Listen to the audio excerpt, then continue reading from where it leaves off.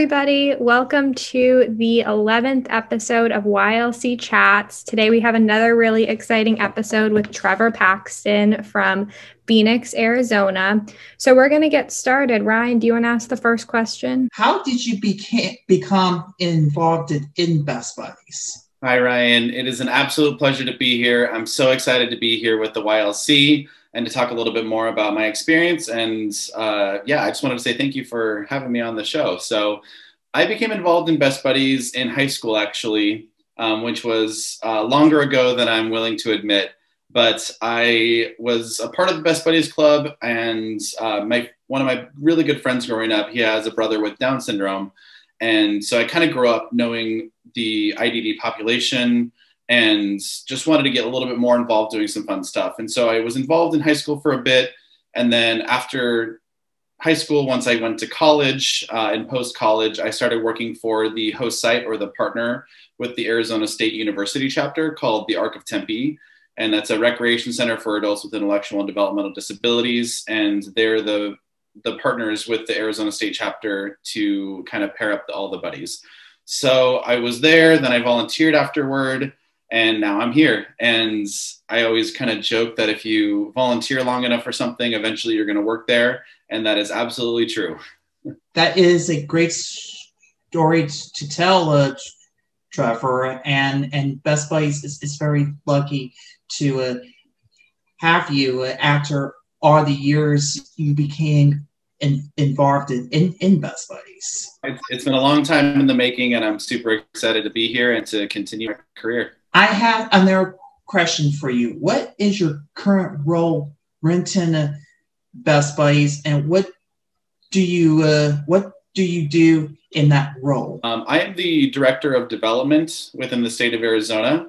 So my role essentially is special events and fundraising within the state. So that's everything from the Friendship Walk to our Spirit of Friendship and Champion of the Year Gala um, to everything that's a little bit less fun, like the grants and everything, although there are some people that really take a lot of pride in that. So uh, anything that is related to money coming into the organization in the state of Arizona, um, that's in my wheelhouse. And that is strictly just to make sure that we have enough funding to continue to push the mission of Best Buddies forward.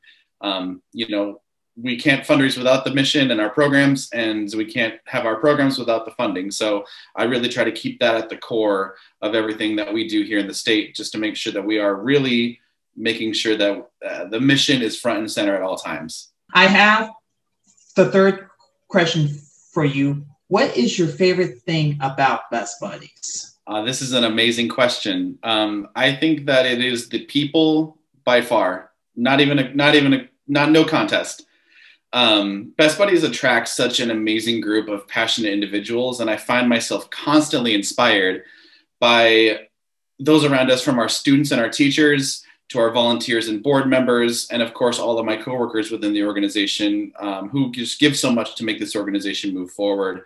And of course, my buddy Charles, I would be remiss if I didn't mention him. Um, it is amazing to kind of think back on the long kind of track that I've had to get to this point within Best Buddies, but um, it is the people who inspire me on a day in and day out basis. And I think that it is imperative that we just continue to make sure that the individuals stay at the forefront. You know, um, the organization is amazing, but it's the people that make up the organization that are even better. Why do you think the Best Buddies mission is so important? I really think that the, the advocacy in general for underserved groups is so important in every area of this world. And the work that Best Buddies does to contribute to the disability rights movement uh, is vital, but I think it's the social and emotional learning aspects uh, that really set it apart from other organizations. Um, to me, it is the the connections that are made, and uh, then seeing how those connections, in a very organic manner, or manner, can um, can can really just kind of shift an entire mindset. And if you can do it for one person, it can do it for a lot of people.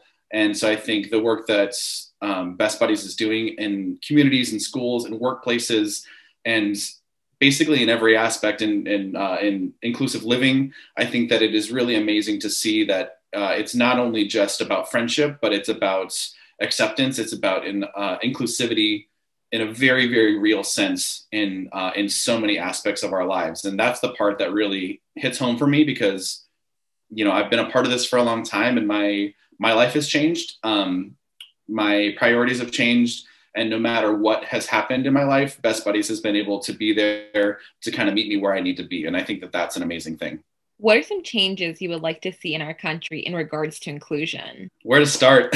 um, I think that we have done a lot over the last 10 years or so to really um, uh, ensure that people have a seat at the table, regardless of their their skin color, their you know gender identity, their sexual preference, their intellectual abilities. Um, but I think that there's a lot of work that still needs to be done, and I think that that needs to happen uh, with more diversity at every level of our country structure, um, whether that's from our community leaders to our local businesses and even into the political sphere. Um, and it's not just on the base level. I think a lot of times you have a lot of people who start advocating, um, but it's you know it's it's advocating from the top down, and I would love to see a lot of advocacy from the bottom up. And I think that that is what's really going to help us transform this world into a, a more inclusive place. Um, I also think that the conversations surrounding diversity, equity, and inclusion um, should be paramount when it comes to the fabric of our nation and our companies. And that conversation should expand beyond just simply racial and gender diversity, but also should include race, uh, to, uh, intellectual diversity as well. I think that there are a lot of people in this world who have incredible things to offer who have been overlooked simply because of a diagnosis. And I think that we need two things. I think we need one, for people with intellectual and developmental disabilities to continue to speak up for themselves when they know that they can add value to a club, a workplace, or a community. And two, for our peers and colleagues and neighbors to actually listen to that. I think that you can't have actual inclusion, it's only an idea unless we take actionable steps to enact it. And I think that that part right there, it needs to be a give and it needs to be a take. Um, and that's really what's going to make us uh, take the next step forward. Because I think we've done a lot of really great stuff so far, but I think that there's a lot of things that we can do, and we're almost there. It just needs uh, that just that little push, and I think that when we listen to each other and we respect each other, that's how we're going to get there. Um, I'd like to know how have you stayed connected with your colleagues in the Best Buddies community during COVID? I think it's just all of the the typical means, you know, um, Zoom, Microsoft Teams for work stuff, um, FaceTime, um, you know, any sort of video chatting has been really key just because I think that seeing somebody's face is, you know, great. Um, but I also do think that an important part was managing the virtual overload. Um, I think sometimes we have found ourselves in a place where we were met with, you know, restrictions on social interaction in a physical sense. And so we had to put that somewhere. So we went to virtual and i do think that you know if if we're not careful we can definitely kind of almost almost resent it almost and kind of not look forward to it kind of push it off because oh I've, I've been on zoom too many times today. School has been absolutely insane. I have had back-to-back work meetings all day. So after work hours uh, i want to be on a screen as little as humanly possible but i know that that's the way that i can actually connect with some of my friends and family and my and the best buddies community. So the I think the the thing that has been really vital over this uh, during this time uh, during this pandemic has been uh, just being really intentional about my communications and and all that, setting up one-on-one things, um, making sure that I'm doing an internal check as to how I'm feeling, um, making sure to really just kind of check in from time to time and say, hey, how are you feeling too? Um, I think that you know asking the questions, not only just looking inward, which is easy to do when you're you know, a little bit more isolated than you normally would be. Um, but with that said, I think that you know I ha- we have done some safe, socially distanced and masked up hangouts in small groups and outdoor spaces, uh, and I think that that can that I think that's totally fine. Um, I think as long as you are being safe and smart about things, um, I think that that is definitely an option to do, and that's kind of helped curb some of that virtual fatigue, even if it's every couple months or whatever your comfort level is. Um, for me, it's been, you know, uh, I think maybe once every two or three months or so, it's been seeing somebody in person. And that has definitely helped kind of push me through while understanding that, you know, the steps that I can take in order to keep our community safe uh, and healthy um, are also very paramount as well. But virtually, I think that that's huge. Um, doing small activities, uh, recently have looked into doing different trivia things and things just to kind of interact with people in a way that's not just hopping on a Zoom call and seeing what happens, you know, being a little bit more intentional about the things that you're actually doing and asking for people. So, my last question for you, Trevor, is what are some of your goals for Best Buddies in your state for the future? Oh, where to start? Um, I think that there are so many untapped areas of Best Buddies in Arizona, and we've accomplished a lot. So, we launched our Citizens program in 2018. Uh, and that's been absolutely amazing. I think we have over just over 20 matches, and I just had a conversation with one of our program managers earlier today, and we're going to be making more matches in the coming weeks. So that's amazing. Uh, we just launched the jobs program in 2020 in the middle of a pandemic, which seems a little bit nuts, but it's been really well received. And we have a lot of uh, jobs participants that are eager to find work and really make a difference in, uh, in our communities and our workplaces and just continue to fortify our school chapters and our ambassadors program. Um, without strong programs, we don't have volunteers, and without volunteers, we don't have an organization.